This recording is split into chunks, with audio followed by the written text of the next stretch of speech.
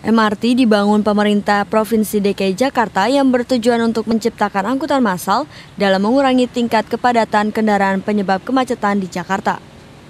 Namun dalam proses pengerjaannya, proyek MRT ini memiliki berbagai dampak di masyarakat. Dampak tersebut yaitu sejumlah halte termasuk halte Transjakarta Bundaran Hotel Indonesia tidak lagi beroperasi. Selain itu, lima halte bus Transjakarta di kawasan Jalan Sudirman hingga Tamrin terpaksa dibongkar. Kepadatan arus lalu lintas pun menghiasi aktivitas pekerjaan tahap awal MRT di sepanjang Jalan Sudirman. PT Mas Rapid Transit Jakarta menargetkan pengerjaan tahap awal transportasi berbasis rel MRT akan rampung pada April 2014.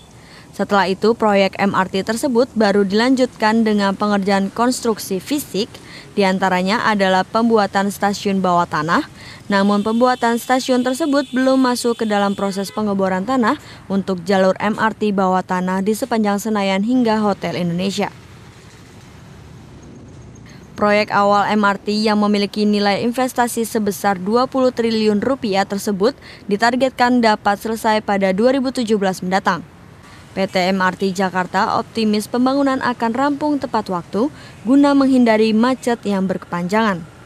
Setidaknya satu rangkaian MRT bisa menampung 1.200 penumpang atau setara dengan 200 unit minibus dan 30 unit bus Transjakarta.